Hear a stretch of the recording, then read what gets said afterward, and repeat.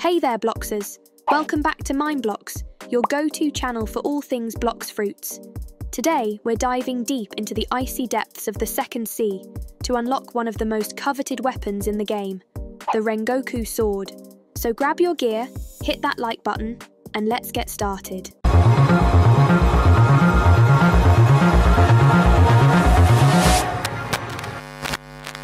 Alright, to kick things off, you need to make your way to the ice castle in the Second Sea. This chilly fortress is where our journey begins.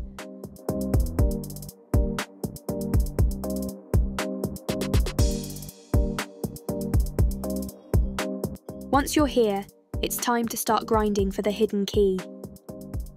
There are two main ways to get your hands on the hidden key. The first method is by defeating the mobs scattered throughout the ice castle.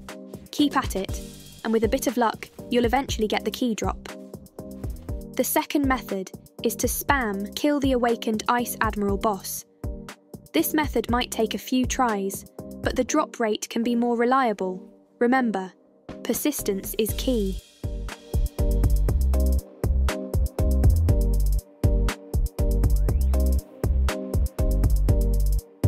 Once you've got the hidden key, it's time to find the secret room.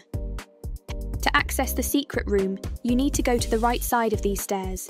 It's a bit hidden, but if you follow closely, you'll find the entrance. Inside this secret room, you'll find a chest waiting for you. Use your hidden key to unlock it. And voila, the Rengoku sword is now yours. Check out this beauty. The Rengoku sword is not just powerful, but it also looks incredibly cool. You're now ready to take on tougher foes with this awesome weapon. Thanks for watching, Bloxers. If you enjoyed this guide and found it helpful, be sure to hit that like button and subscribe to MineBlox for more epic Blox Fruits content.